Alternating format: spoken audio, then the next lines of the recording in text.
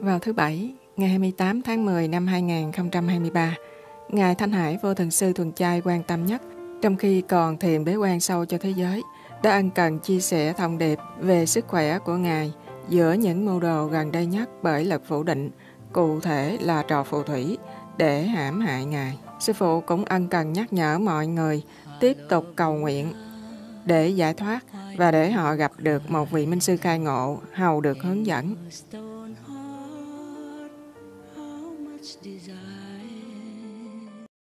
Chào, chào tất cả quý vị, con cái của Thượng Đế, những người yêu dấu của các cõi thiên đàng. Tôi nghĩ quý vị lo lắng, nên tôi nói đôi lời, có thể nhiều hơn đôi lời. Quý vị biết tôi vẫn còn đây vì có thể nghe tiếng tôi, nhưng tôi vẫn phải xử lý tình huống liên quan đến trò phù thủy phóng đến để hại tôi. Mặc dù tôi thắng, nhưng ảnh hưởng vẫn còn đó. Và gần đây, trò phù thủy này vẫn được dựng bên ngoài cửa nhà tôi, dù tôi đã dọn sang phòng khác. Tuy nhiên, luôn luôn có những lúc tôi có thể lẻn ra ngoài thật nhanh. và đôi khi lẻn ra nhưng ở ngoài hơn vài tiếng. Đừng lo cho tôi. Tôi là cô gái cứng rắn. Tôi mạnh mẽ. Phải tôi sẽ sống qua được lần nữa. Còn nếu không thì chúng ta ai cũng phải ra đi một ngày nào đó mà. Nếu chết thì chết thôi. Có sao đâu. Nhưng dĩ nhiên tôi cố gắng hết sức để sống sót vì quý vị Tôi mừng là quý vị không tập bất kỳ trò phù thủy nào,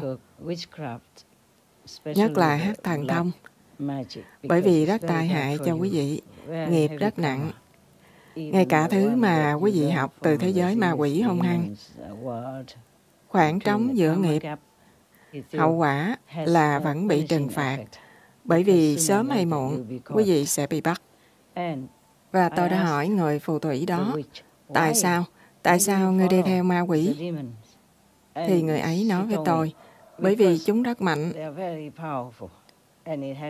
và có ảnh hưởng mà mình có thể cảm nhận được. Tôi nói không, không, đây chỉ là trong cõi thế gian này thôi. Dù sao là bản chất phù du của thế giới mà chúng ta đang sống. Ngoài ra, trừ khi chúng đến từ con người, bị ma quỷ ám, Chứ ma quỷ vốn dĩ thật sự chỉ được tạo ra hầu như từ không khí. Có thể nói như vậy, vì chúng được tạo ra bởi năng lượng từ các hành động xấu của con người. Nên, ngay khi năng lượng đó tiêu tan, thì chúng sẽ bay hai hết, sẽ không còn tồn tại nữa. Bất kể chúng có mạnh đến đâu đi nữa. Nhưng nếu tin nơi Thượng Đế, tin nơi con Đức Chúa Trời và tin nơi chư Thánh Hiền, thì quý vị sẽ được cứu rỗi và sự hiện hữu của quý vị sẽ tiếp tục mãi mãi. Cho dù mắc phải một số lỗi lầm và sám hối, quý vị vẫn có thể được tha thứ. Và nếu quý vị gặp được con Đức Chúa Trời hoặc một số chư thánh hiền, quý vị sẽ được cứu rỗi nếu theo các ngài. Và nếu tuân giữ những điều răn của Thượng Đế. Trong khi còn sống trên cõi trần gian này, trên thiên đàng chúng ta không có bất kỳ điều răn nào bởi vì mọi người đều tốt.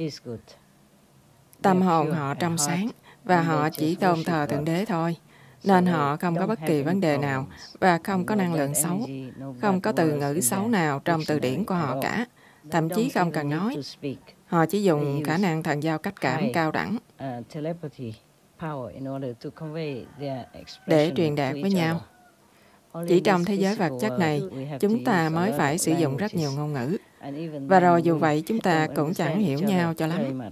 Do đó, chúng ta làm nhiều điều sai và cũng đánh nhau hoặc thậm chí có khi giết nhau và giết những chúng sinh khác mà chúng ta cho là thấp kém và ít may mắn hơn và dĩ nhiên chúng ta cho là vô giá trị như người thân động vật hoặc cư dân vương quốc cây cối. chỉ tuân theo thượng đế chỉ tôn thờ thượng đế thôi. Nếu quý vị có bất kỳ minh sư thăng hoa và khai ngộ cao đẳng nào thì quý vị vô cùng may mắn. Quý vị nên biết ơn vì mình giàu hơn bất kỳ tỷ tỷ phú nào trên địa cầu này. Những tỷ tỷ tỷ phú, những tỷ tỷ tỷ tỷ tỷ tỷ phú cũng không thể sánh được với quý vị về giá trị. Trong toàn cõi vũ trụ, quý vị là hạng nhất, dĩ nhiên là ngoại trừ những vị minh sư, các chư thánh hiền, còn Đức Chúa Trời và Thượng Đế tối cao. Dĩ nhiên quý vị hỏi tôi, tại sao tôi vẫn đang xử lý tình huống? tà thuật phù thủy này? Vì sau khi phá bỏ vòng hoa độc mà đặt trước cửa nhà tôi đó, trước khi tôi dọn sang phòng khác, thì sau đó chúng cài đặt một loại hệ thống khác, một hệ thống khác. như một hệ thống sẽ làm rối loạn hệ tiêu hóa và hệ thống vị giác, khiến tôi sẽ không biết mùi vị, sẽ không muốn ăn và gặp rắc rối với việc điều chỉnh dạ dày. Và sau khi hệ thống đó bị phá bỏ, thì chúng cài đặt một hệ thống khác. Có một điểm kết nối tại chỗ tôi ở. Thành ra chúng có thể sử dụng điểm đó để cài đặt các thứ trong nhà tôi, chứ không ai có thể vào. Không ai có thể làm gì trong lúc tôi bế quan. Chỉ là vì tôi vẫn cần làm việc cho truyền hình vô tình sư. Điều đó mang tới đủ loại nghiệp qua mạng Internet, qua công việc của tôi. Bởi vì truyền hình vô thượng sư đang làm việc với thế giới và cho người thế gian. Tôi không thể tách rời với điều đó. Nhưng thôi kệ. Và rồi chúng cài đặt đủ thứ. quá kinh tởm, thậm chí như một hệ thống vòng phân chuột được đặt xung quanh đồ thải của tôi. Bởi vì thỉnh thoảng tôi cần phải đi vào phòng tắm và điều đó sẽ làm xáo trộn và gây khó chịu cho hệ tiêu hóa của tôi. Sau khi hệ thống đó đã xong và bị phá hủy, chúng cài đặt một hệ thống khác để nếu tôi tình cờ đi qua cánh cửa, tôi sẽ rất tức giận bên trong lẫn bên ngoài. Đó mới là vấn đề. Và còn những hệ thống khác, chúng đã cài đặt trước đó. trước cả vòng hoa đọc. Tôi không để ý vì quá bận với những việc khác. Và linh hồn, tâm trí, tư tưởng của tôi ở đẳng cấp cao hơn, hệ thống trần thế, nên tôi không để ý. Nhưng may mắn là bây giờ mọi chuyện đã qua rồi. Nhưng nó đã gây khó chịu vô cùng cho toàn bộ con người tôi. Không chỉ về thể chất, mà còn về mặt cảm xúc, tâm lý tinh thần cũng như tài chánh. Chúng tôi cũng bị mất một số tiền, nhưng đây chỉ là những thứ vật chất, những thứ trần thế, và không đáng lo ngại cho lắm. Miễn là tôi vẫn còn đủ lực lượng tâm linh. Dù sau khi cho đi rất nhiều, nếu tôi có đủ thì tôi vẫn có thể sống sót ở thế giới này và tiếp tục công việc và thiền định của mình. Và tôi cũng phải luôn kiểm tra những chỗ để lấy năng lượng tâm linh này nơi có chứa lực lượng tâm linh cao hơn, để tôi có thể tiếp tục làm việc, cho dù đôi khi tôi thiếu thời gian thiền định tâm linh.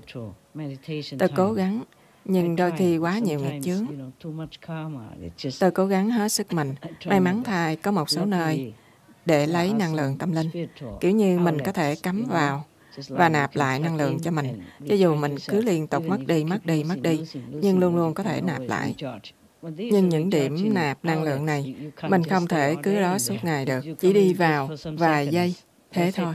Bởi vì cơ thể không thể chịu lâu hơn thế. Và sau vài ngày, có khi 5 ngày, có khi 6 ngày, có khi một tuần, điểm nạp này sẽ bị đóng lại.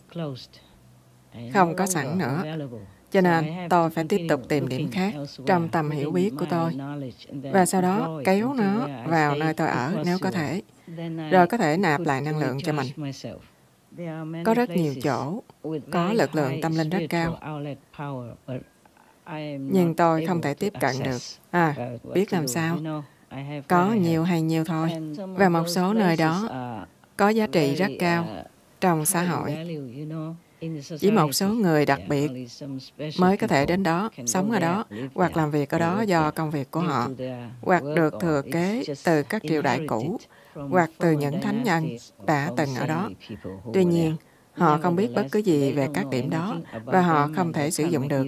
Cho dù họ có biết đi nữa, họ cũng không thể sử dụng được. Vì vậy, tôi có nói với ai thì cũng vô ích thôi. Và bây giờ, tôi chỉ nói với quý vị mà không viết trước hoặc cũng không có máy nhắc chữ nào. Cho nên tôi nhớ gì thì nói đó với quý vị thôi. Nên không luôn luôn trôi chảy, không mạch lạc. Trôi chảy hoặc theo một chủ đề, hoặc theo một đề mục nào hết. Không quan trọng, quý vị sẽ hiểu hết. Và nếu không hiểu thì không hiểu. Nhiều người không hiểu. Có lẽ quý vị sẽ hỏi tôi, tại sao tôi không sử dụng bất kỳ lực lượng nào tôi có để loại trừ người phù thủy đó. Rất tiếc tôi không thể làm điều đó. Bởi vì nếu tôi sử dụng lực lượng của mình để xử lý việc này, thì người đó sẽ chết ngay lập tức. Cương vị của tôi là không giết ai cả. Cương vị, ý định, trái tim, sứ mệnh của tôi là để cứu thôi. Cho nên tôi cứ phải chịu đựng dù hoàn cảnh đối xử và dán lên tôi khó khăn và đau đớn thế nào đi nữa. Chúng ta không ở đây để hủy diệt hay sát hại. Chúng ta ở đây để giúp con người một cách nhẹ nhàng nhất có thể, trong mức độ họ có thể chịu được, có thể hiểu được, để đưa họ vào năng lực trí tuệ, năng lực hiểu biết của chính họ, để họ có thể tự thức tỉnh, và họ có thể chấp nhận, và rồi họ bắt đầu tìm kiếm kiến thức cao hơn, trí huệ nhiều hơn. Chứ chúng ta ở đây không phải để hủy diệt bất cứ gì hoặc giết bất cứ ai. Giết không bao giờ giúp được ai cả. Tôi chỉ gửi đi rất nhiều tình thương. Chúng ta ở đây để chữa lành, chứ không phải để sát hại. Tôi cảm tạ Thượng Đế mỗi ngày về sự bảo vệ của Ngài trong bao năm qua. Tôi đã ở trên thiên đình để biện hộ cho người phụ nữ này mà đã cố gắng giết tôi.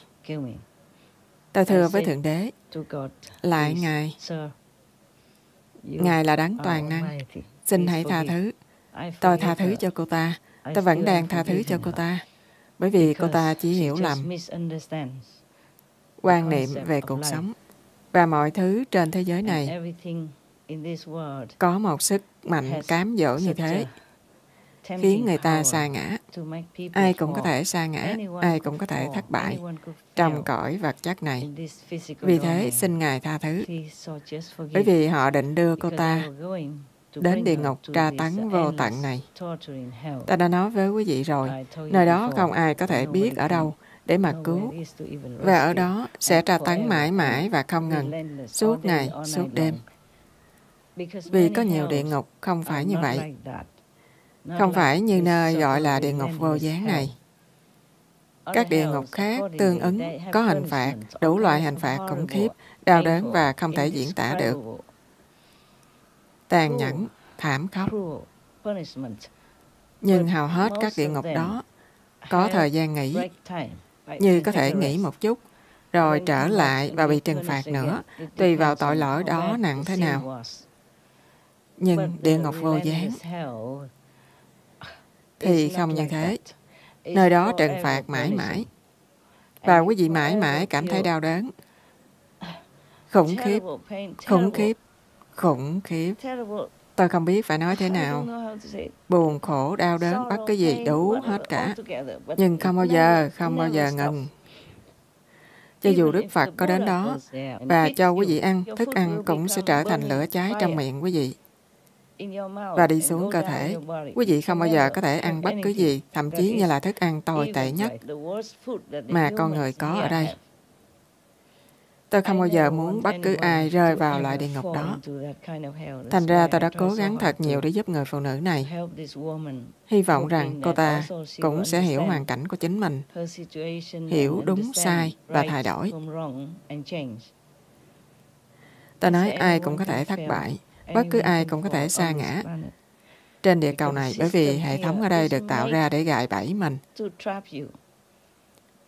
Và cuối cùng với rất nhiều cố gắng, rất nhiều đàm thoại, rất nhiều thương lượng, và tôi cũng phải trả giá.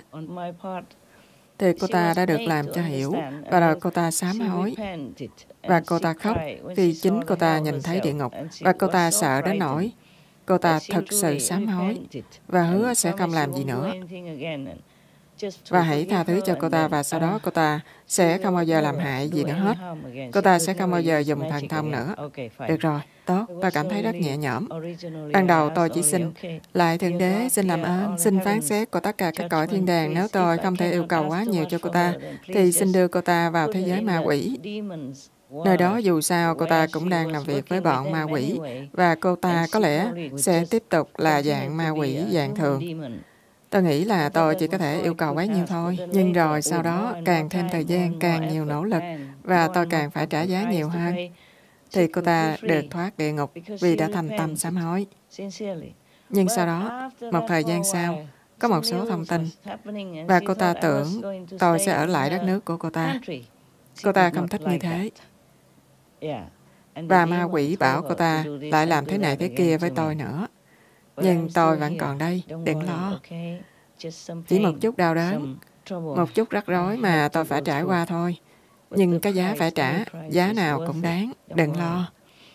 Đừng lo gì hết. Tôi sẽ sống sót.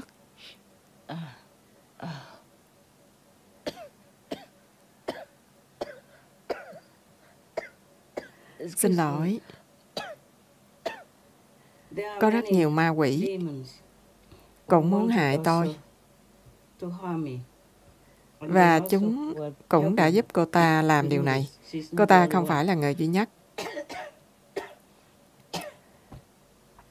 Đôi khi các ma quỷ dạng người đó vì ganh tị, kiêu ngạo hoặc ngã chấp cũng tìm cách hại tôi một mình, không với người khác, không với các ma quỷ dạng người khác, hoặc những ma quỷ không phải dạng người.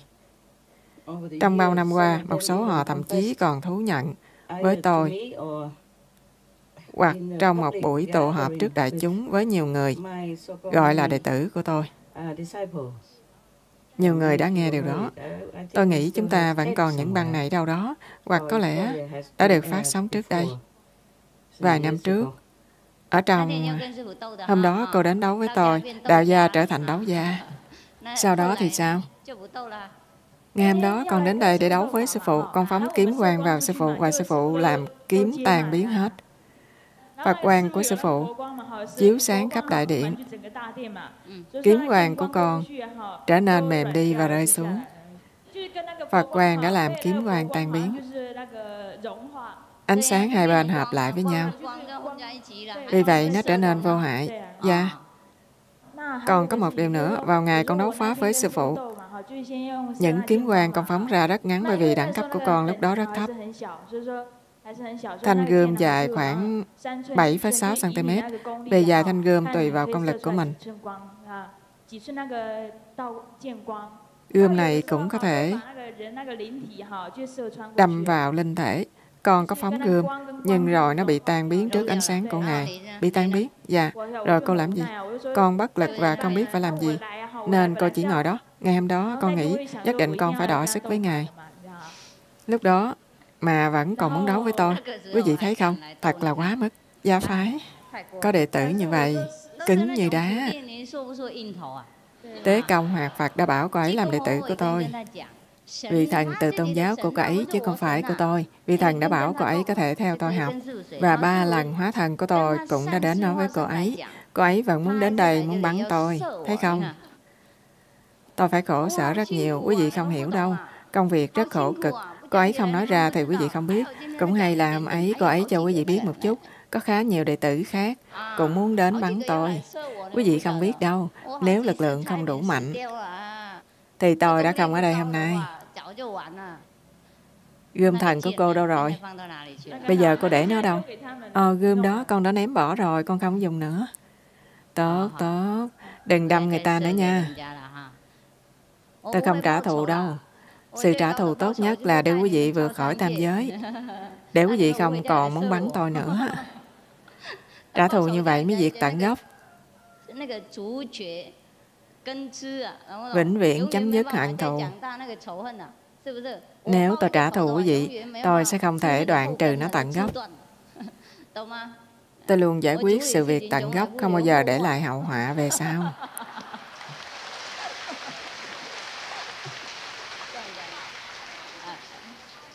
Đây mới thật sự là giải pháp chấm dứt vòng báo thù. Nếu có thiền nhãn, quý vị có thể thấy thanh kiếm cô ấy hóa ra trông như thật, nhưng mạnh hơn gấp hàng vạn lần. Quý vị không thể khống chế nó, không thể khống chế nó. Nếu không có nhiều lực lượng tu hành, quý vị sẽ bị nó phóng trúng. Nếu mà trúng, không bị bệnh thì cũng chết, không chỉ trong kiếp này, mà nhiều kiếp. Không ai có thể cứu quý vị, trừ khi quý vị gặp minh sư rất cao đẳng. Gươm có thể đâm xuyên linh thể của quý vị. Sau đó, quý vị sẽ bị cô ta khống chế. Quý vị sẽ nghe theo lệnh của cô ta. Không làm gì được với ý muốn của mình. Linh hồn bị khống chế. Quý vị bị thương nghiêm trọng. Bị nội thương nghiêm trọng. Không ai cứu được quý vị. Thật đáng sợ. Nên nếu đạo gia không có đạo đức, thì thật sự là rắc rối. Nhưng nhờ vậy mà cô ấy mới tin sư phụ. Lúc sư phụ đang giảng pháp ở Bình Đông, con vốn vô mình không biết lực lượng của sư phụ. Sư phụ đang ngồi trên khán đài và con liền phát khí của con để trao đổi với sư phụ. Anh không thấy ánh sáng của tôi sao? Nhưng con không nhận biết được đó là Phật quan. Khí của con bị tan biến khi chạm vào ánh sáng của Ngài. Nhiều lần con phát khí và nó biến mất. Lúc con xuất khí, nó tan biến giống như vật chất bị tan chảy. Khi tiếp xúc với mặt trời, con không biết khí của con đi đâu. Dường như khí đụng vô cái gì đó và bị tan biến ngay lập tức. À, anh có bị cạn khí không? Con không dám tiếp tục thử. Sau khi thử vài lần thì con dừng lại. Dừng lại à? Con dừng lại vừa đúng lúc. Tốt. Bằng không, anh sẽ không còn khí nữa. Một trong số họ, một người đàn ông, một pháp sư, thậm chí còn đổ lỗi cho tôi, đã làm tổn thương anh ta khi không để con dao của anh ta. đâm xuyên qua cơ thể tôi. Ngược lại, nó lại hướng về phía anh. Nên anh phải hủy bỏ âm mưu ám sát của mình. Tôi đã nói rằng tôi không cố ý làm cô ta đau đớn. Nó chỉ xảy ra. À, đôi khi bởi vì bảo hộ hoặc thiên thần. Xin lỗi. Ta nói, nhưng làm ơn đừng tái phạm nữa. Sát sinh là nghiệp rất nặng. Cô có biết mà, sớm hay muộn các thẩm phán sẽ bắt được cô và trừng phạt cô. Ý tôi là các thẩm phán từ thiên đàng Mặc dù các thẩm phán ở thế giới vật chất này không thể tìm thấy bằng chứng hoặc không thể tìm thấy cô. Bất kỳ khu vực trước đại chúng nào và nhắc nhở mọi người tu hành là một sự mạo hiểm mà tôi phải lãnh chịu. Trông có vẻ rất dễ dàng, như tôi luôn mỉm cười, hầu như là thế.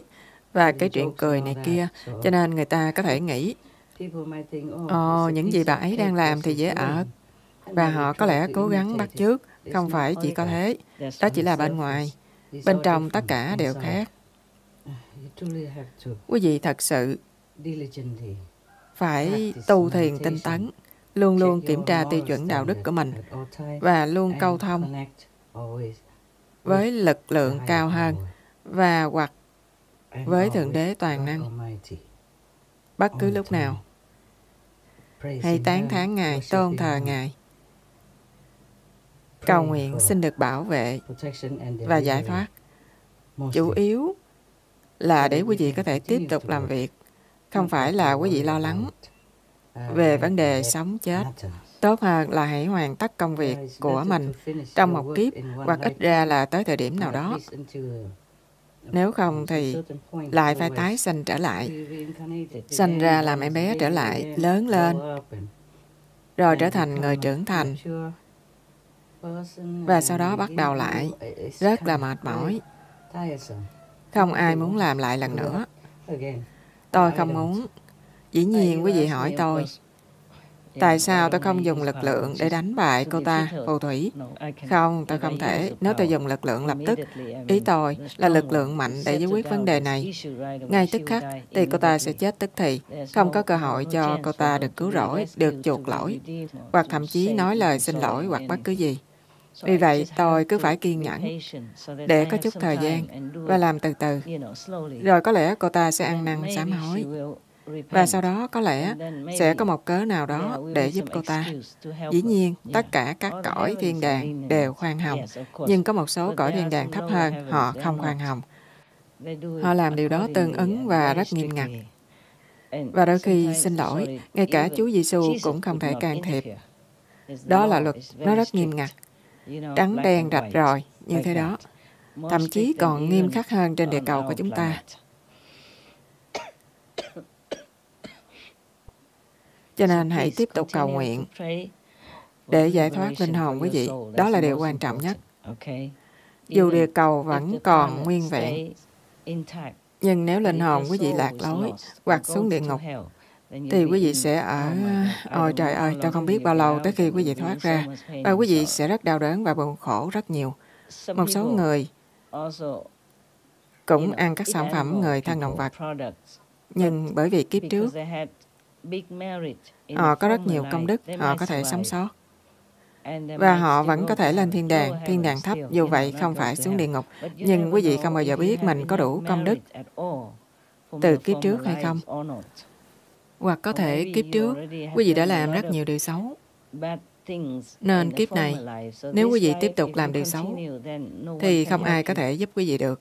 Xin vui lòng, mỗi ngày chỉ tán thán Thượng Đế Toàn Năng, tôn thờ Thượng Đế Toàn Năng. Và dĩ nhiên, cảm ơn con Đức Chúa Trời và tất cả chư Thánh Hiền sinh ra từ năng lượng của Thánh Linh đó.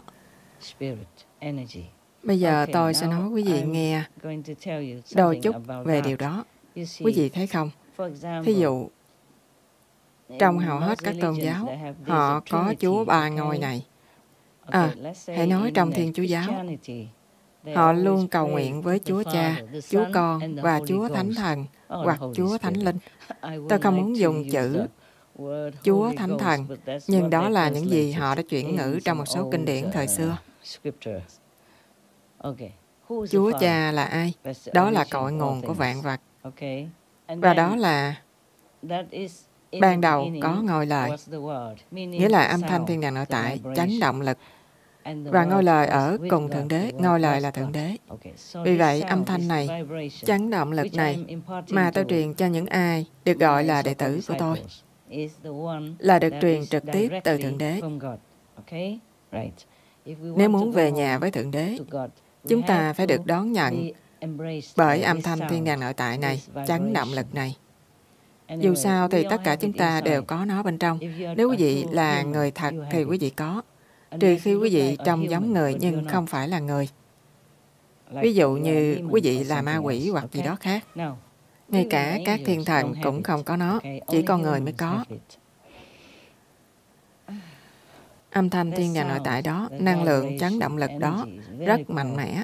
Ánh sáng thiên nhà nội tại cũng là một dạng khác của chấn động lực hoặc âm thanh, nhưng vi tế hơn.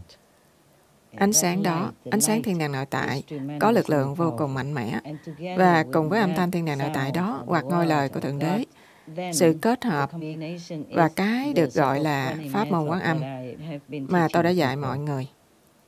Nhưng quý vị cần phải mở nhĩ căn nội tại và nhãn căn nội tại hay là mắt thứ ba và cái gọi là tai thứ ba nếu muốn gọi là vậy rồi quý vị sẽ có thể nghe được chấn động lực đó, âm thanh thiên đàng nội tại đó, ngôi lời của Thượng Đế. Và quý vị sẽ có thể nhìn thấy ánh sáng thiên đàng nội tại là hóa thân của Thượng Đế. Thượng Đế không có danh. Nếu quý vị muốn biết Thượng Đế, thì ánh sáng và chấn động lực, âm thanh này sẽ giúp quý vị. Không gì khác có thể giúp.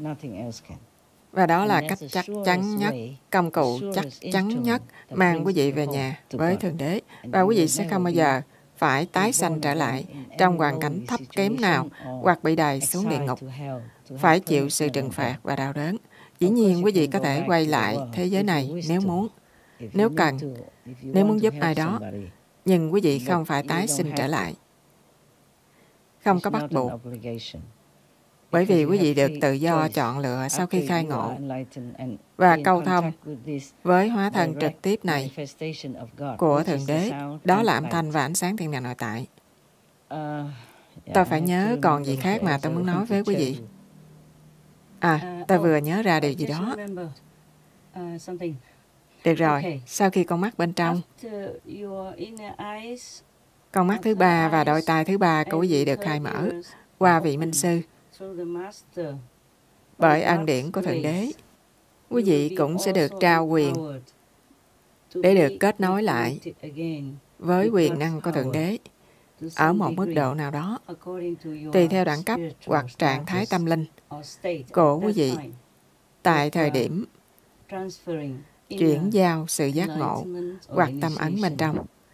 Chỉ thông qua tâm ấn, quý vị mới có thể đạt được điều đó và giữ được nó, đồng thời tiến bộ đi lên cho đến ngày Thượng Đế đưa quý vị về nhà mãi mãi.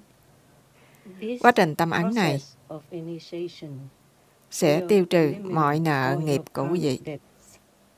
Nên quý vị có thể tự do trở về nhà. Chỉ còn lại một chút thôi, để quý vị vẫn có thể ở lại thế giới này. Trả một chút cho và nhận. Thành ra, thế lực phủ định luôn truy lùng các minh sư và tìm đủ mọi cách để giết chết các ngài, để giữ tất cả các linh hồn ở đây dưới sự kiểm soát áp bức của chúng. Tại sao chúng ta nói Chúa Cha, Chúa Con và Chúa Thánh Linh? Bây giờ tôi sẽ giải thích. Là như vậy, Chúa Cha không có danh, là đấng tối cao, Thượng Đế toàn năng. Đó là đấng vô sở bất tại, toàn năng, toàn tri, là tất cả, có trong vạn vật. Dĩ nhiên là ngoại trừ ma quỷ. Bởi vì ma quỷ không có thực thể, không có linh hồn, không có trái tim, không có gì hết. Thành ra chúng mới làm bất cứ điều gì, bởi vì chúng không cảm thấy đau đớn cho người khác. Chính chúng cũng không cảm thấy đau đớn. Nhưng khi chúng không có năng lượng xấu nào, tội lỗi nào nữa, do con người tạo ra, thì chúng sẽ bay hơi, biến mất, không còn nữa, không hiện hữu nữa. Thành ra bất cứ ai thờ ma quỷ, họ đã sai lầm lớn, lớn, lớn, vô cùng lớn. gây hại cho chính họ rất lớn. Không chỉ ma quỷ sẽ không thể giúp quý vị bằng bất cứ cách nào, mà chúng còn kéo quý vị xuống địa ngục. Bởi vì nếu quý vị nghe chúng làm những việc xấu thì chúng sẽ kéo quý vị xuống địa ngục. Nhưng nếu quý vị theo... À, nếu quý vị chỉ tôn thờ Thượng Đế Toàn Năng và đi theo con của Ngài và hoặc các chư Thánh Hiền mà đến từ Chúa Thánh Linh, thì quý vị sẽ được cứu rỗi. Chắc chắn. Không gì có thể tốt hơn thế. Hầu hết nếu quý vị theo một vị Thánh Hiền, hoặc thậm chí câu thông trực tiếp với con của Thượng Đế, thì quý vị là người may mắn nhất trong toàn cõi vũ trụ, vì các ngài ở với Thượng Đế. Quý vị thấy không? Thượng Đế toàn năng là đấng tối cao. Và có con của Thượng Đế. Hệ thống là như thế. Con, còn gọi là Minh Sư Tối Thượng, là con duy nhất của Thượng Đế. Khi Minh Sư Tối Thượng hóa hiện trên địa cầu, trên tinh cầu này, trên thế giới này, thì Ngài có một phàm thân vật chất. Ngài có thể không sinh ra bởi sự thụ thai giữa một người nam và một người nữ. Ngài sẽ chỉ hóa hiện như vậy. Ví dụ như Chúa Giêsu thật sự là con của Thượng Đế, và mỗi minh sư khác chỉ là vị thánh hiền, mà cũng xuất phát từ minh sư tối thượng qua công cụ vật chất của hóa thân con Thượng Đế trên địa cầu. Vì vậy, Chúa Giêsu là con Thượng Đế. Các vị minh sư khác thì không. Ngoài trừ Chúa Giêsu, khi Ngài trở lại, thì dĩ nhiên chúng ta cũng gọi Ngài là con của Thượng Đế. Một số người cho rằng Ngài chỉ là một minh sư khai ngộ khác, nhưng không phải vậy. Có những sự khác biệt giữa minh sư là con của Thượng Đế và các minh sư khác là chư thánh hiền như mức độ thứ ba hoặc mức độ thứ tư nếu chúng ta tính minh sư tối thượng, vẫn còn chưa ngắt kết nối với Thượng Đế. Không hoàn toàn ngự trong phàm thân của con Thượng Đế trên địa cầu. Thượng Đế toàn năng ban lực lượng cho Minh Sư Tối Thượng. Minh Sư Tối Thượng giống như tay phải của Ngài. Nhưng dù sao, ở bất cứ đâu, ở khắp nơi, và khi con của Thượng Đế là lực lượng hóa hiện của Minh Sư Tối Thượng, đã trở thành cái gọi là con người trên địa cầu, chẳng hạn, hoặc bất kỳ tinh cầu nào khác, thì Ngài có thể dùng khoảng 90% lực lượng Minh Sư Tối Thượng. Nhưng hầu hết, giống như Minh Sư Tối Thượng trên thiên đàng, 10% đó là sự kết nối giữa hai ngài. Vì vậy, con của Thượng Đế, như Chúa Giêsu không mang toàn bộ lực lượng xuống địa cầu, chỉ luôn luôn có 90% lực lượng được phân bổ cho Ngài. Nên Ngài có thể dùng bao nhiêu mà Ngài muốn trên tinh cầu này. Nhưng thật chẳng may, chúng ta không bao giờ đối xử tốt với bất kỳ minh sư nào trên địa cầu, kể cả con duy nhất của Thượng Đế. Và nếu đã gặp được minh sư, như Chúa Giêsu chẳng hạn, Ôi trời ơi, thì quý vị là hạng nhất, may mắn nhất trong toàn các cõi vũ trụ ở bất cứ đâu. Thành ra khi Chúa Giêsu còn tại thế, Ngài nói, không ai có thể đến với Chúa Cha mà không qua ta. Hoặc Ngài nói, người chỉ có thể đến với Chúa Cha qua ta. Đại khái vậy. Và rồi Ngài thậm chí còn không khuyến khích chúng ta tôn thờ Ngài, hoặc ngay cả làm bất cứ gì nhân danh Ngài. Ngài nói, ta là ánh sáng của thế gian, khi nào ta vẫn còn trên thế gian. Quý vị hiểu không? Vì Chúa Giêsu đã biết rằng sẽ có một vị khác giáng trần, hoặc chính Ngài sẽ giáng trần lần nữa. Ngược lại, nếu không có minh sư, thì rất khó cho quý vị được giải thoát. Nếu không có minh sư, như Chúa Giêsu, con duy nhất của Thượng Đế, mà Thượng Đế đã gửi xuống địa cầu, nếu chúng ta quá mù, điếc và câm, thì chúng ta không thể thấy được. Chúng ta không biết rằng Ngài là đấng duy nhất, con duy nhất của Thượng Đế, thì chúng ta không bao giờ có thể thoát ra được. Nhưng may mắn thay, từ lực lượng mà con duy nhất của Thượng Đế đem xuống địa cầu, từ đó sinh ra những vị minh sư khác nhưng họ ở đẳng cấp thấp hơn. Họ sẽ không quay về với Chúa Cha như con của Thượng Đế. Con của Thượng Đế như Chúa Giêsu. Ngài phải trở về với Chúa Cha. Một khi Ngài đi ra, một khi Ngài đã là con rồi, Ngài không thể trở về với Thượng Đế toàn năng. Dĩ nhiên là Ngài có thể câu thông, có thể có sự câu thông này mãi mãi. Nhưng Ngài sẽ trở về với con nguyên thủy của Thượng Đế, ở những thế giới cao xa. Đó là những gì tôi được cho biết. Tài liệu là như thế. Giống như đôi khi, nếu minh sư tối thượng muốn gửi cho tôi một thông điệp thật sự và để biết rằng nó đến từ Ngài, thì Ngài sẽ cho tôi một dấu hiệu nào đó. Nó rất đặc biệt. Quý vị không thể tìm thấy trên địa cầu, ở bất cứ nơi nào, hoặc đề cập trong bất kỳ thánh kinh nào. Dù vậy, tôi không chắc liệu tôi có được phép nói cho quý vị biết không. Tôi nghĩ tốt hơn là không. Để tôi hỏi.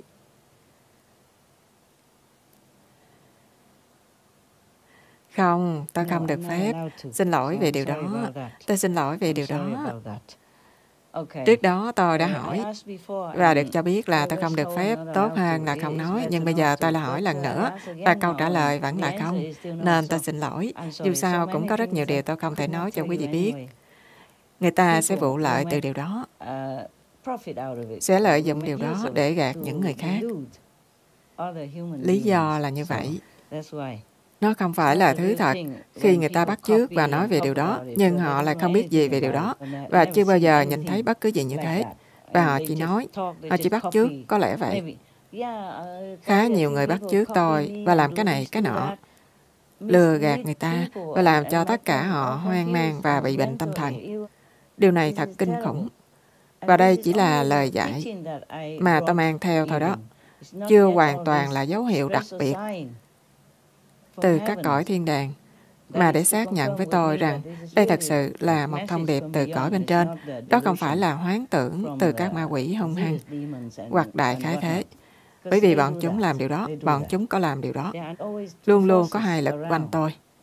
Một lực nói với tôi sự thật, và lực kia nói với tôi tin giả và những thứ hoán tưởng. Vì vậy, thật may mắn cho nhân loại và cho mọi chúng sanh. từ lực lượng tâm linh của con Thượng Đế duy nhất tại thế sẽ có sự lan rộng của lực lượng tâm linh này. Lực tâm linh để các vị thánh hiền khác cũng sẽ có thể giúp nhân loại, dù các ngài không thể mang họ lên cao suốt tận bên trên. Chẳng hạn, đẳng cấp thứ năm, có năm vị giáo chủ, cư ngụ và cai trị năm đẳng cấp tâm linh. Ví dụ, từ thế giới Atula.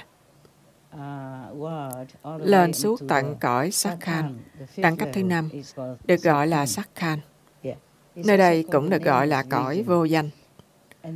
Cõi có danh thật và cõi danh chân thật. Có một số danh hiệu cho cõi đó, nhưng đó chưa phải là cõi cao nhất. Có những thế giới cao, cao hơn rất nhiều so với đẳng cấp thứ năm. Nhưng thôi, nếu quý vị có may mắn lớn nhất, được gặp một trong những vị thánh hiền đã đến từ đẳng cấp thứ năm. Ôi trời ơi, thì quý vị nên quỳ xuống và cúi đầu lại Thượng Đế mãi mãi vì sự may mắn và ân điển này. Ôi, bao nhiêu? Có khoảng ba vị minh sư đẳng cấp thứ năm. Khi tôi đang nói với quý vị bây giờ, ở trên địa cầu này, nếu may mắn, quý vị sẽ gặp các ngài và quý vị sẽ là đệ tử của các ngài, thì quý vị sẽ được bảo đảm giải thoát vĩnh viễn. Nhưng vì nhân loại bị buộc phải mãi mãi bận rộn với sự sống còn về vật chất và cũng bị lòng tham và tham vọng thúc đẩy mà trở nên bận rộn, quá bận rộn, nên rất khó cho quý vị thậm chí nghĩ tới việc đi tìm vị minh sư khai ngộ nào để tu học, để giúp bản thân, linh hồn quý vị để được giải thoát mãi mãi khỏi vòng đau khổ và đau khổ hoán tưởng này, vòng sinh lão bệnh tử này, hoặc thậm chí thoát địa ngục. Vì thế, nhà của các vị minh sư ở trên đẳng cấp thứ năm, tính từ đẳng cấp Atula trở lên. Chúng ta có đẳng cấp Atula, và rồi chúng ta có đẳng cấp hủy diệt, và đẳng cấp xây dựng, tích cực, và rồi chúng ta có đẳng cấp phạm thiên, rồi chúng ta có đẳng cấp thứ tư, và chúng ta có đẳng cấp thứ năm.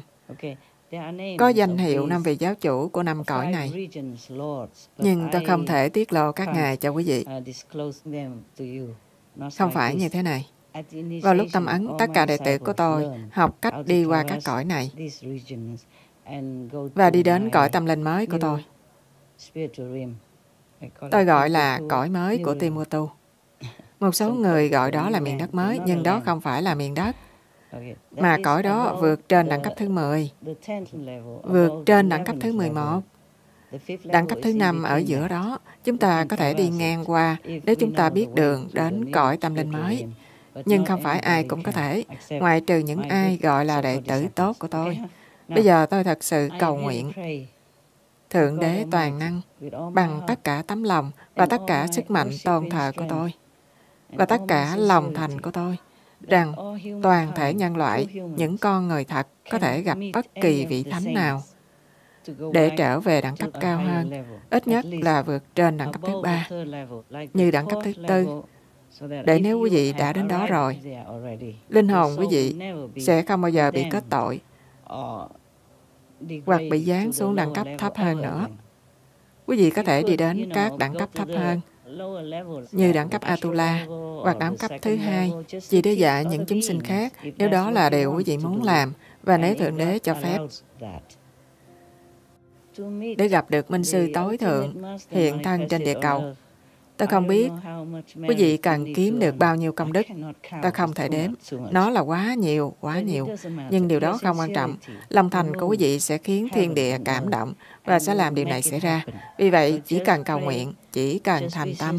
Hãy tôn thờ Thượng Đế. Thượng Đế toàn năng là đấng duy nhất mà quý vị nên tôn thờ. Hãy tôn thờ đấng tối cao là Thượng Đế toàn năng. Và cũng tán thán Ngài nữa. Cũng cảm ơn Ngài rằng Ngài đã phái người con duy nhất của Ngài xuống thế giới đau khổ này để cứu quý vị. Nếu quý vị có bao giờ gặp được đấng đó.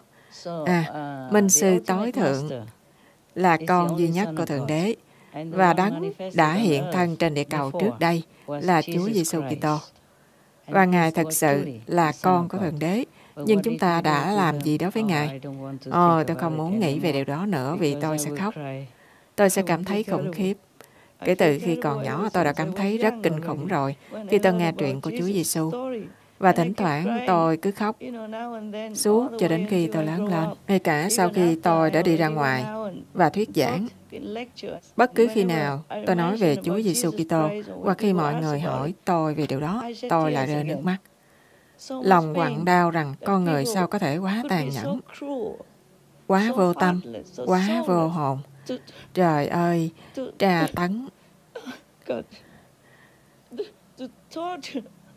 tra tấn một chúng sinh thánh thiện như vậy. Dù họ không tin rằng Chúa Giêsu là thánh thiện, thậm chí nếu đó chỉ là người thường, họ cũng không nên làm như vậy. Ngài không làm gì sai trái đối với bất cứ ai. Ngài chỉ dạy con người những điều thật, dạy cách để được tự do. Nếu mọi người trên địa cầu lắng nghe Chúa Giêsu, gặp Chúa Giêsu vào thời điểm đó, lắng nghe mọi lời dạy của Ngài và tuân theo hoàn toàn, thì tất cả các quốc gia sẽ bình an như thiên đàng. Và chúng ta sẽ có mọi thứ dồi dào. Chúng ta sẽ không bao giờ phải chịu bất kỳ loại đau khổ nào. Và thế giới này đã trở thành thiên đàng hàng đầu rồi.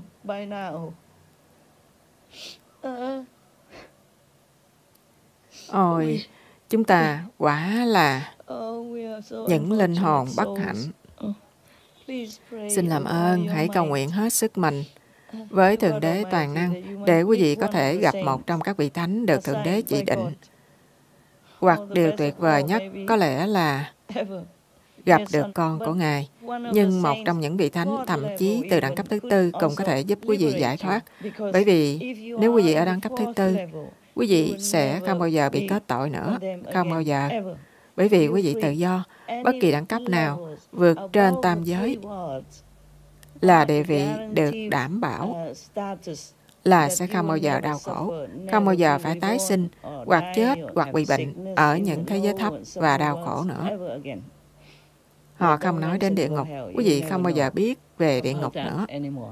Và rồi từ đó, quý vị còn có thể từ từ tu học thêm với một minh sư cao hơn và quý vị đi lên đẳng cấp thứ năm. Vinh quang nhất trong các đẳng cấp mà quý vị có thể đến được từ cõi giới vật chất này. Các đẳng cấp khác, thứ sáu, thứ bảy, thứ tám, thứ chín, không dành cho con người, với phẩm chất và đẳng cấp con người để đến được hoặc để sống. Đẳng cấp thứ năm thật huy hoàng, đẹp đẽ, phúc lạc mãi mãi. Mãi mãi rồi. Thật chân phước cho linh hồn của người nào, thậm chí có thể theo minh sư nào để đến được đẳng cấp đó.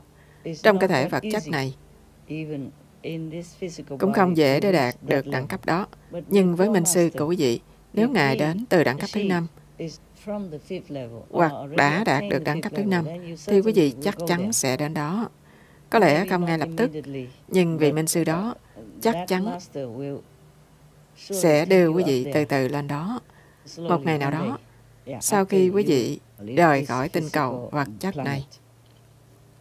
Ngay cả minh sư đẳng cấp thứ tư, quý vị nên tán thán rồi, và nên theo, và nên biết ơn, và luôn cảm tạ trong lòng nếu quý vị gặp được một vị. Dĩ nhiên rất khó cho quý vị biết ai là ai. Chúng ta chỉ có ba vị minh sư cao đẳng trên địa cầu này. Và họ sẽ trông không giống như những gì mà quý vị mong đợi. Họ thậm chí không ở trong bất kỳ cái gọi là nhóm tôn giáo hoặc nhà thờ hoặc chùa chiền nổi tiếng hoặc bất kỳ tổ chức tôn giáo nào. Chỉ khi quý vị may mắn, quý vị sẽ gặp họ. Hãy cầu nguyện cho điều đó, không cầu gì khác.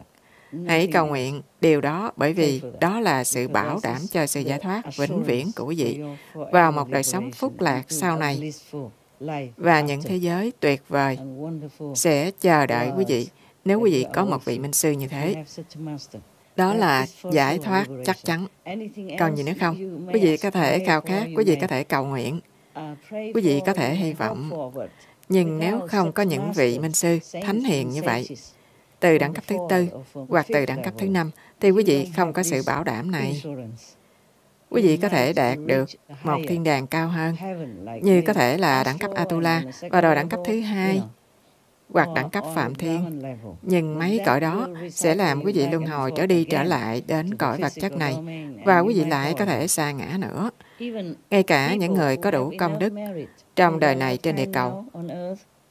Và rồi một tai nạn nào đó đưa họ đến đẳng cấp Atula. Họ đã cảm thấy tình thương rất lớn rồi. Họ gặp các chư thánh hiền ở đó.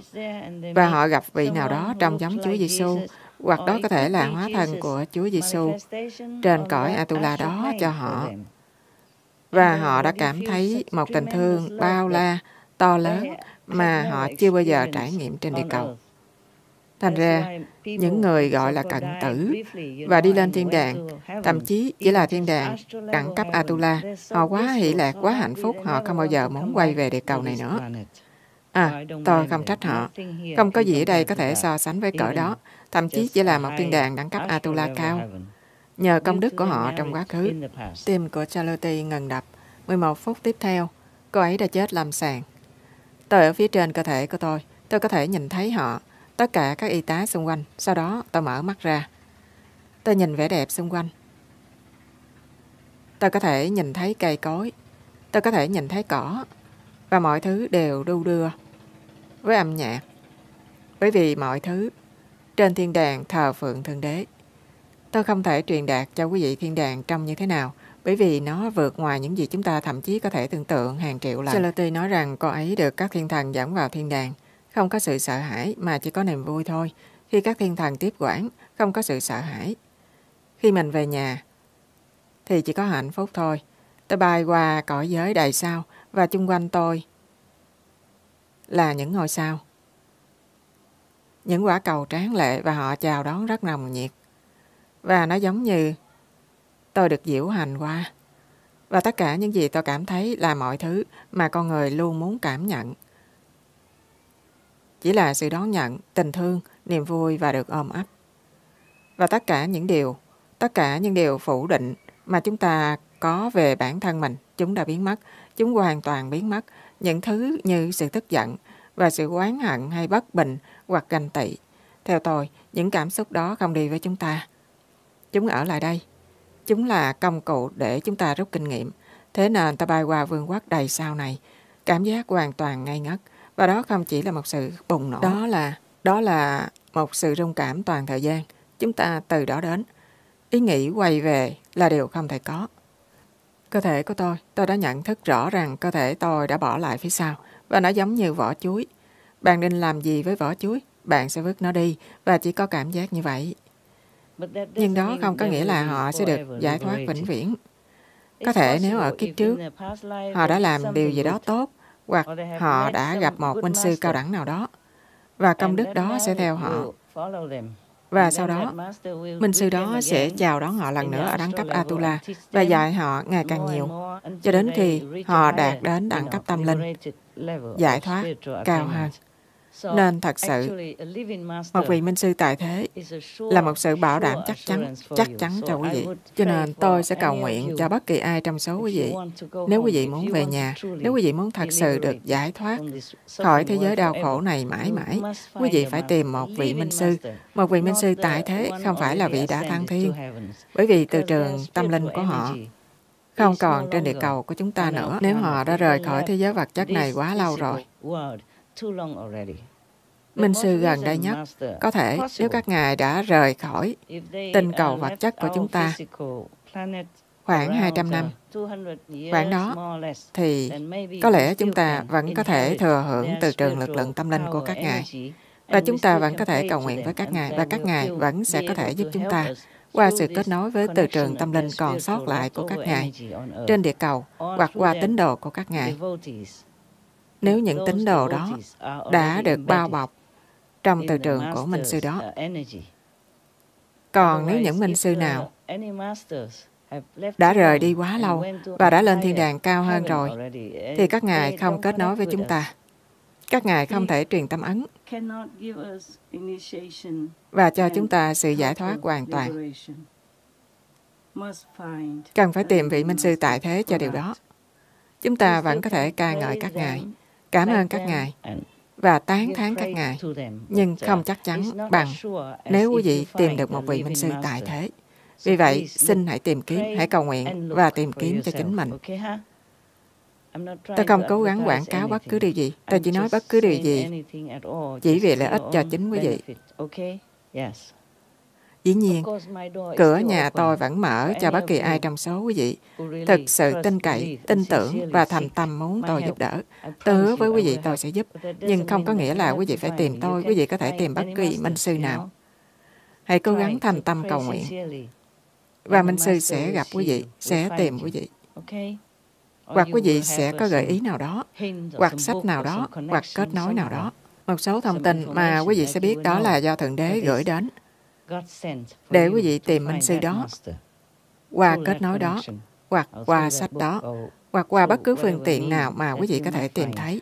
Tôi chúc quý vị mọi điều may mắn nhất trong ân điển thiên liêng của Thượng Đế Toàn Năng, của con Thượng Đế duy nhất và của tất cả chư Thánh Hiền, thăng thiên gần đây. và các vị Thánh Hiền vẫn còn tại thế ở thời điểm hiện tại này. Amen. Xin Thượng Đế bảo vệ quý vị đến lúc đó. Xin Thượng Đế ban ân quý vị đến lúc đó.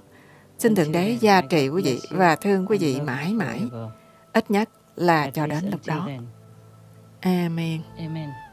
Nhân danh Thượng Đế Toàn Năng, tôi thương tất cả quý vị.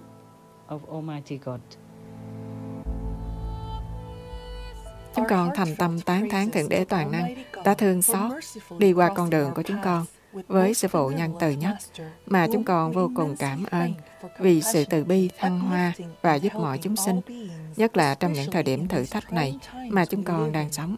Chúng ta hãy cầu nguyện cho tình thương thiên liêng đi vào lòng người và chuyển hóa mọi hành vi sai trái của chúng ta vào nền tảng của trí huệ, đức hạnh cao đẹp và lòng nhân ái. Và bây giờ chúng ta hãy cùng bắt đầu với những bước quan trọng trở thành người thượng trai và tạo hòa bình để trân quý tất cả sinh mạng của các đồng cư dân địa cầu. Cầu mong Sư Phụ Trân Quý luôn ở trong môi trường thanh bình, dồi dào sức khỏe và được bảo vệ bởi tất cả các vị thiên đế huy hoàng. Xin mời theo dõi buổi phát sóng thông điệp của Ngài Thanh Hải Vô Thường Sư với nhiều phụ đề hơn vào thứ Năm, ngày 9 tháng 11 năm 2023 trong tiết mục Giữa Thầy và Trò. Ngoài ra, để tham khảo thêm, mời quý vị xem các thông điệp và buổi hội thảo giữa thầy và trò liên quan trước đó chẳng hạn như Thế giới giết chóc, kinh hoàng giữa khoảng trống của nghiệp Thế giới này được tạo bằng gì? Cùng nhau chúng ta có thể xóa bỏ nghiệp chướng thế giới, cuộc trò chuyện với quỷ, giải quyết hệ thống của tạo hóa, cầu nguyện cho thế giới được giải thoát, vân vân. Để xem các thông điệp và buổi hội thảo giữa thầy và trò, tất cả đều miễn phí để tải xuống. Xin vui lòng truy cập và tìm kiếm Minh Sư Tối Thượng.